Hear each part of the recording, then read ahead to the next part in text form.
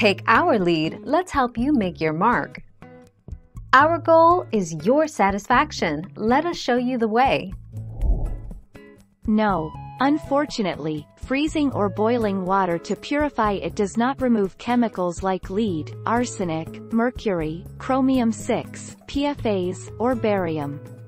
The only way to remove these chemicals is by using a quality water filtration system. 26 October 2016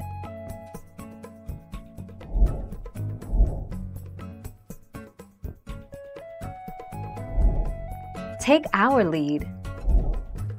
The best bet to filter PFAS chemicals out of your water is an in-home reverse osmosis filter under your sink or at your tap.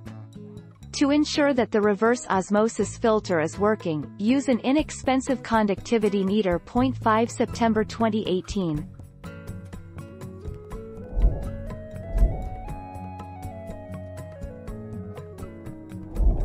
Make your mark, take our lead.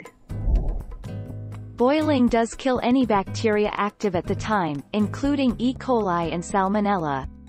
But a number of survivalist species of bacteria are able to form inactive seed-like spores. These dormant spores are commonly found in farmland soils, in dust, on animals and field-grown vegetables and grains. 23 August 2011 Thank you for watching. Please subscribe and hit the bell notification.